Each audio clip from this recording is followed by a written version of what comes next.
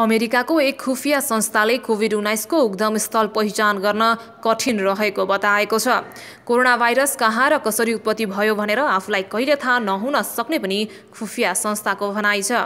शुक्रबार director of national इन्टेलिजेन्सको कार्यालयले एक प्रतिवेदन सार्वजनिक गर्दै कोभिड उन्नाइसको उद्गम स्थल पहिचान गर्न कठिन रहेको र भाइरस उत्पत्तिबारे आफूलाई कहिले थाहा न उक्त प्रतिवेदनमा कोरोना भाइरस जनावरबाट मानिसमा सरेको वा प्रयोगशालाबाट चुहाइएको भन्ने विषयमा विस्तृत समीक्षा गरिएको अन्तर्राष्ट्रिय सञ्चार माध्यमले जनाएका छन्।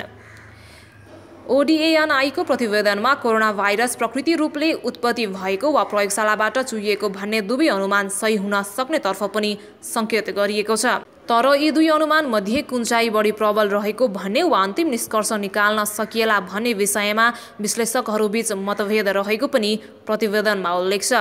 त्यस्तै जैविक हतियारको रूपमा कोरोना भाइरस बनाइएको भन्ने धारणालाई समेत प्रतिवेदनले खण्डन गरेको छ। यस्तो धारणा राख्ने मानिसहरूको वान इन्स्टिट्युट अफ भाइरोलोजीसम्म सिधा पहुँच नभएको र उनीहरूले दुष्प्रचार गरिरहेको प्रतिवेदनको ठहर छ। विश्वव्यापी महामारीको असरका लागि कति दोषी छ भन्ने विषयबारे अमेरिकामा राजनैतिक मतभेद जारी रहेका बेला शुक्रबार सो प्रतिवेदन सार्वजनिक गरेको हो। नब्बे दिन लगाएर अगस्तमा जो बाइडेन प्रशासनले सार्वजनिक गरेको समीक्षालाई अपडेट गरेर पछिल्लो प्रतिवेदन सार्वजनिक गरिएको हो। यसैबीच चीनले प्रतिक्रिया जनाउँदै शुक्रबार सार्वजनिक प्रतिवेदनप्रति आलोचना गरेको छ।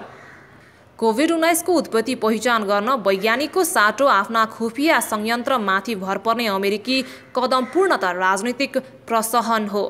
वासिङटन स्थित चिनिया दूतावासका प्रवक्ता लिउ पेङ ग्युले भने यसअघि पूर्व अमेरिकी राष्ट्रपति डोनाल्ड ट्रम्प र उनका कैयौँ समर्थकले कोभिड उन्नाइस चिनिया भाइरस भएको बताएका थिए। तर केही अमेरिकी खुफिया संस्थाले भाइरस प्रकृतिमा उत्पत्ति भएको कुराप्रति सशक्त समर्थन गरिरहेको देखिन्छ। कतिपयले भने चीनस्थित हुवान इन्स्टिट्युट अफ भाइरोलोजीबाट संयोगवश भाइरस चुहिएको ठान्दछन् तर चीनले उक्त अनुमान अस्वीकार गर्दै आएको छ।